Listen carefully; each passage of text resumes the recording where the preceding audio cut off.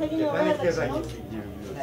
Σε αυτά που δεν είναι σπάνια, έχουμε και σπάνιες εκδόσεις όπως την Άννα Καρένινα που είναι του 54. Μας έχει προορίσει τον κύριο Πυρήνα ο Λευτέρης ο Ηλιάκης, ο Αληθής Σύμμαχος. Και δεχόμαστε και δωρεές. Και τα έχουμε βάλει εθνική αντίσταση, λογοτεχνία ποίηση, ιστορία του κόμματος.